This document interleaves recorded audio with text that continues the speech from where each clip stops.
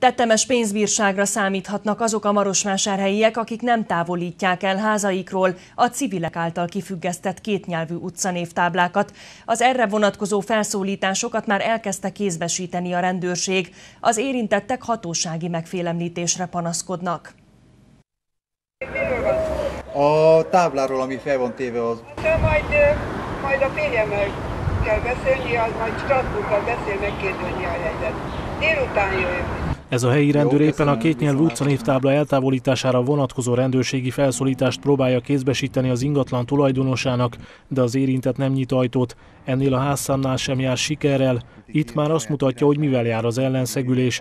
30-tól 50 ezer leig terjedő pénzbírsággal sújtja a helyi rendőrség azokat, akik 48 órán belül nem távolítják el házaik faláról az utcanévtáblákat.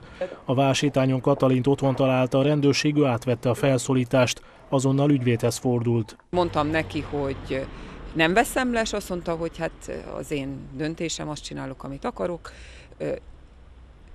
majd megkapom a büntetést. Na, én elmentem Kincses úrhoz, és ő azt mondta, hogy nagyon helyes, hogy nem akarom levenni, és nagyon sok ilyen emberre lenne szükség, aki nem akarja levenni a, az utcanévtáblákat, mert feljelenti a polgármesteri hivatalt, meg Brétfél urat, meg mindenkit, és erkölcsi kártérítést kér a, a zaklatásért. A rendőrség akciója azonban akkora pánikot keltett, hogy már sokan jelezték eltávolítatnák az utcanévtáblákat házaikról, mások pedig a hatóságok kétes eljárása miatt háborodtak fel, és most megnőtt a megrendelések száma a kétnyelvű utcanévtáblákra megyünk és leszereljük a táblát, hogyha ő ezt kéri. Viszont ezzel párhuzamosan többen feldühödve azon, hogy ezt a büntetést, tehát a büntetésen és az igazságtalanságon, egy túlkapáson polgári engedetlenségből kértek táblát, és szeretnék is, hogy megtörténjen ez a rendőrségi túlkapás, és szeretnének percindítani, vagy terbe menni a rendőrséggel.